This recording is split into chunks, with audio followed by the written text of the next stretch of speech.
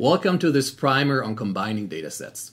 In this session, I will introduce you to different ways of integrating datasets before we implement this in Stata. Combining datasets is a super useful skill if you want to bring together data from various sources and create one comprehensive dataset containing all the information you need for your analysis. Let's dive in.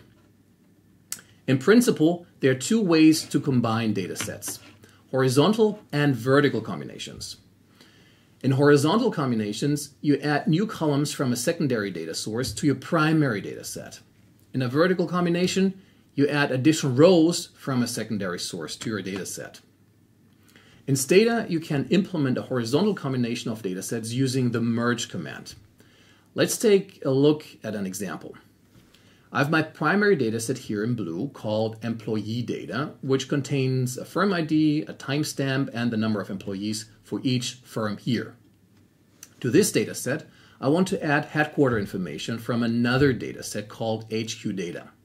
Each firm ID in the secondary dataset has an additional variable with the headquarters location. I could theoretically add this information manually in Excel, but this is likely to be error prone and tedious. In Stata, you can combine these two datasets using the unique firm ID that exists in both datasets. The first step is to load the primary dataset into Stata using the use command, for example, use employee data, comma, clear, and then use the merge command to combine these datasets. Before merging, there are a couple of things you need to test. First, you need to specify the logical relation between the two data sets. We already know that firm ID is the variable that appears in both data sets and acts as the connector. By primary data set, each firm ID can occur multiple times, while in my secondary data set, each firm appears only once. For this reason, we need a many to one merge in Stata, which means we specify that the ID can appear multiple times in the primary dataset, but only once in the secondary dataset.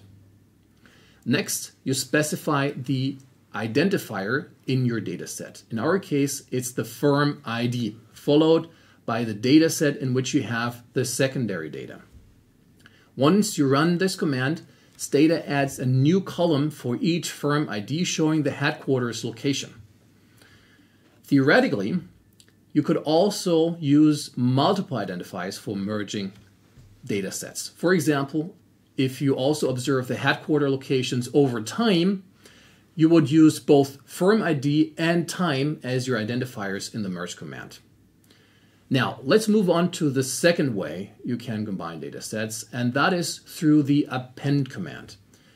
In this case, you add further rows to the data set. Importantly, you need to make sure that both data sets have the variables you want to stack underneath each other with exactly the same name. For example, firm ID has to have the same name in both data sets. As long as they have the same name, Stata will automatically add these new rows to your data set in the same column. The command is simple. First, you use your primary data set as the data and open it using the use command. Then you type append using followed by the name of your secondary data set. The result is a data set with the same columns as the primary data set and the new rows from the secondary data set added at the bottom. These are the two ways in which you can combine data sets, and of course, you can also run them together. For example, you can first merge data sets and then append data, or vice versa. There are a few common mistakes that often happen and that will produce error messages in Stata. One is that the variable ID does not uniquely identify observations in your data set. This can occur if the identifier variable appears multiple times in the primary data set or if it contains missing values. Another common mistake is that the files are not found. Make sure all the files are stored in the same location, are in the correct format, as Stata only accepts its own proprietary format for merging and appending data. Finally, another common error, error is that a given variable in one data set is in string format in one data set, but in the numerical format in another data set. You can solve this problem by converting the variables to the same format prior to appending the data. For further tips and information on how to tackle each of these issues, please see the supplementary PDF file, which you can find in the download section below this video. Thank you very much for joining this session and I hope to see you in our next video in which we will deal with the practical implementation of merging and appending data in Stata.